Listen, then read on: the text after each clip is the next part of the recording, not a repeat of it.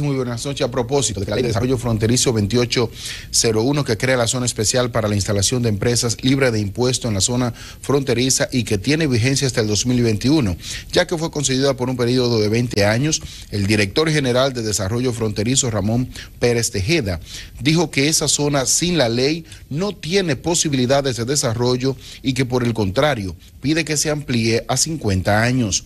En ese tenor, el empresario Elías Cruz, quien opera en la línea noroeste, parado bajo esta ley 2801, dijo que debe ser ampliada y modificada para que pueda desarrollarse la zona fronteriza que tanto lo necesita, resaltando que de no hacerlo podrían ir a la quiebra más de 100 empresas.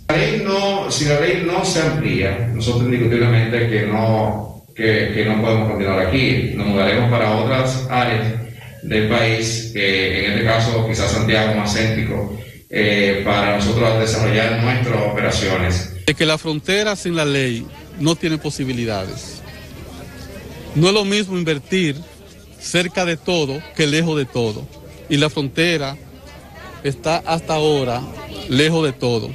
Otro de los puntos que entienden los empresarios debe mejorar es la eliminación de una gran parte de los reductores de velocidad que hay desde Navarrete hasta Dajabón en la carretera, los cuales provocan retraso en el tránsito y mayor consumo de combustibles.